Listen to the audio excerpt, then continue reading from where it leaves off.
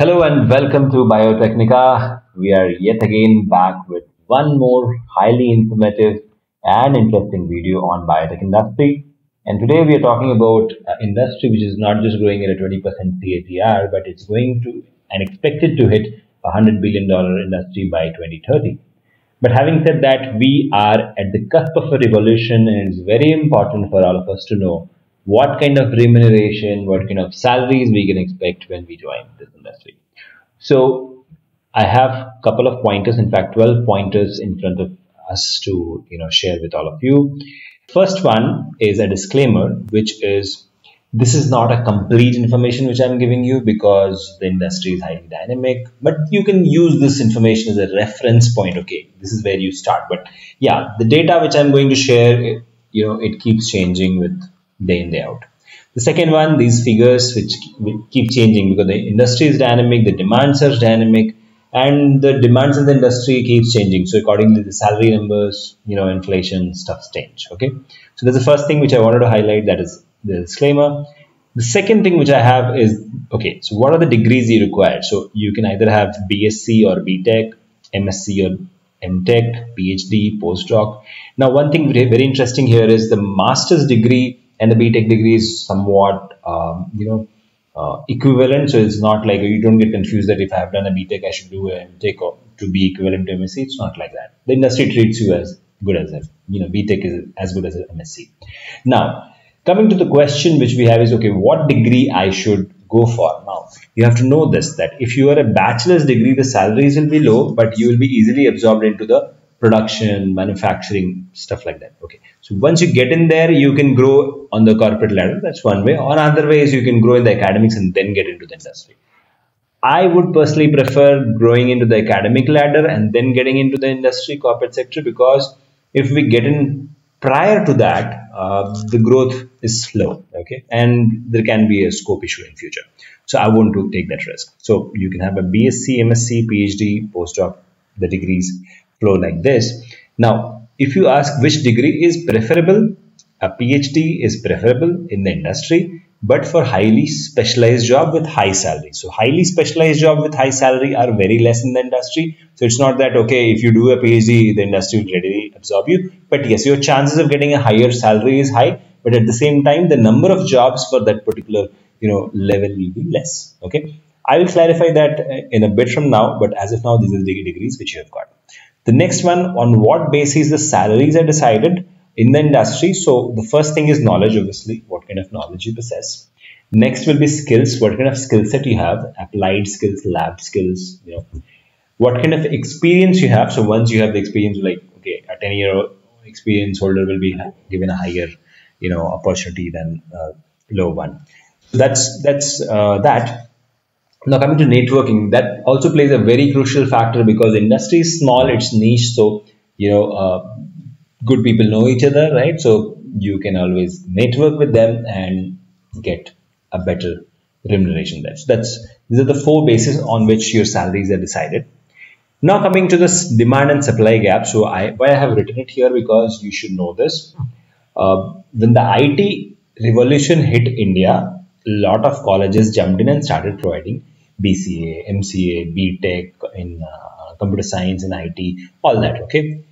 And when biotech in, uh, revolution hit India, all these colleges thought that okay, if we start having these uh, call, uh, courses, uh, we will uh, mint a lot of money. So that is where there was a lot of supply of students who got into this sector, but the demand was not as high. So what happened is a lot of people remained unemployed. Doesn't mean that the industry cannot employ you, but yes, when you have a lot of people doing the same degree, then you you also become part of the crowd. So it's very important to be, you know, uh, not to be a part of the crowd rather you should be unique. So that we'll talk a bit later from now but uh, you, you should know this this is the reason the employability is low. It is not because the industry is not employing it is because these colleges has have pushed a lot of students into this sector which was not required okay there always has to be a balance between demand and supply Now coming to uh, the biotech industry salary analysis, so we'll come to the last part, which is how to grow future scope and how to succeed a little later. But for now, let's look at the company-wise uh, data. So I have included top 10 companies, biotech companies where you can get a job. So you have Genentech, uh, 3.6 to 8 lakhs is the salary, entry level salaries you get there. Thermo Fisher, again, you start at 3 lakhs, it goes up to 8.6. These are entry level salaries, depending on various positions they have. Merck starts from 3.6 goes up to 9 lakhs. Uh, Novartis uh, 3.6 to 9 lakhs. Pfizer is the next 4, 4 lakhs starting salary up to 8.5 lakhs. That's the starting salary. Bharat Biotech, an Indian uh, vaccine company, 3 to 6 lakhs. That's the starting salary they give. Biocon starts at 2.6, goes up to 7 lakhs. ITC starts at 3.6, goes up to 9 lakhs. Serum Institute of India 4.8 to 9 lakhs, and Dr. Reddy's 2.6 to 9 lakhs. Now, the next question, obviously, you will ask is, sir, how to get in these into these companies?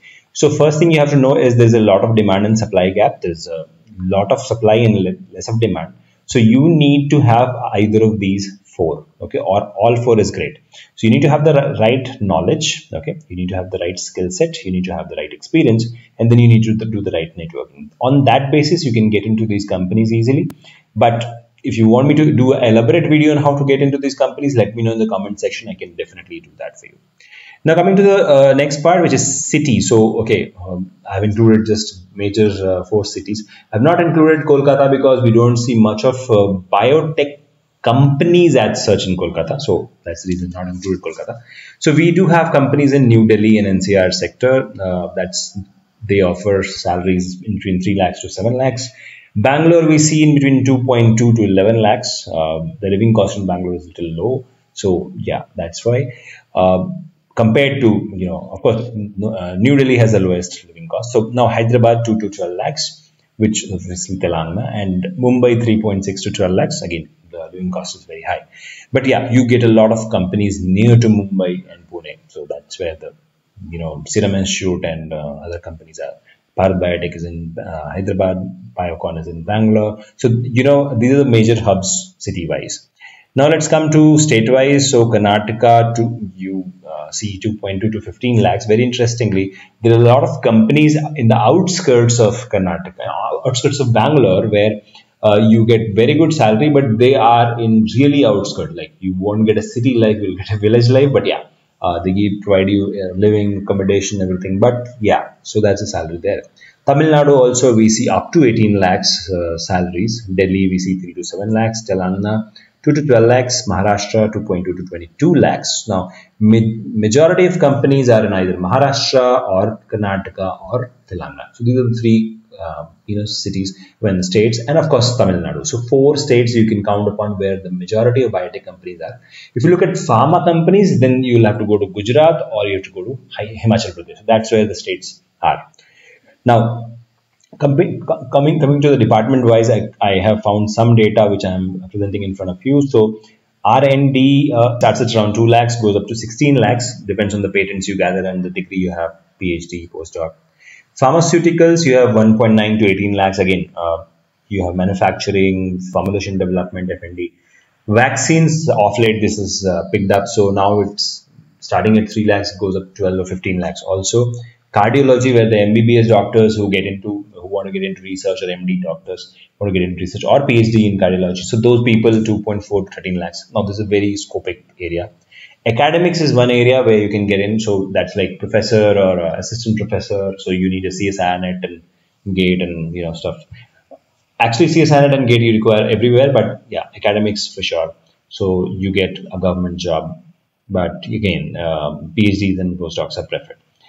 Now coming to position wise uh, we can broadly divide into management and manufacturing and production. So when you go to you know uh, management the ceo salaries goes up to 50 lakhs plus CSOs 30 lakhs plus, vice presidents 30 lakh plus.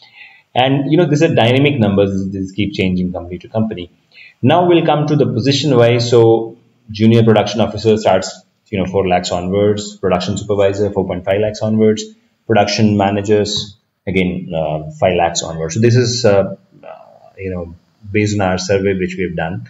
Now there are multitude of other uh, positions also available which it will be very difficult to you know compress into this video in this flow chart but i'm trying my best to do as much as possible. Now coming to uh, the next part which is how to grow.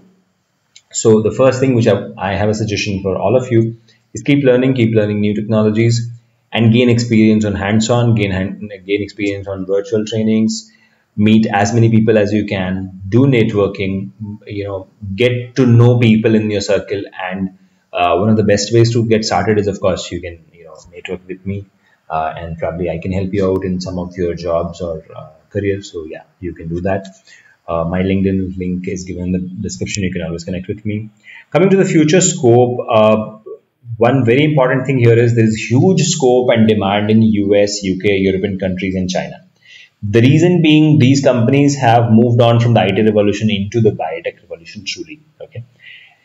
And there's a lot of research going on. But now if, when you come to India, there's a huge supply side. There are a lot of people who are trying to get in. So that is the reason uh, the demand is not as that high. The industry is not growing very fast the way other industries are growing probably. And that's why you will not see, uh, you know, the industry, you know, taking everybody. Industry will be very choosy at this juncture. So if you have specific skill set, they're going to pick you up. So that's for India. But when you look at US, UK, European countries, and China, uh, one very important thing which you all should know is it's not that okay if I go there and they'll give me a job, they'll give you an underpaid job. Okay, the two thousand dollars or three thousand dollars fellowship they'll give you there or salary which they will give you there will be the living cost is so high that it's not that okay you'll become a millionaire there. You will still have a very decent uh, you know income there. So that's something which you should know and i want to warn you about it. Now how to succeed in this sector? So five things i would like to add here. Uh, upskill reskill cross skill bio it is one way to go forward and latest technologies like crispr molecular biology techniques chromatographic techniques spectroscopic techniques these are the techniques which you should learn. So the, we have done a video i think uh, on top 10 lab skills you should have as a fresher. You can always go and watch that video. I'll try to include that link as well as in the description. So this is quickly all about uh, the biotech industry salary analysis and um, i tried to give you a brief overview of what's what's happening around. But remember this is not a complete picture. To know the complete picture you have to do three things. Subscribe to Biotecnika on telegram but subscribe to Biotecnika on uh, you know Biotecnika Times newsletter, email newsletter, and the third thing is subscribe to Biotecnika on YouTube and Instagram so that you are updated with what's happening on a daily basis. Because information is your weapon in this battle. Okay, if you have the right information, that's when you can network with the right people and you can get a better high paying job. So this is all about uh, what I wanted to share with all of you in this video. Let me know your video kaisa laga, how was it, and uh, your feedbacks are always welcome. Any questions, put them down in the comment section. I'll see you in the next one. Till then, take care. Bye bye.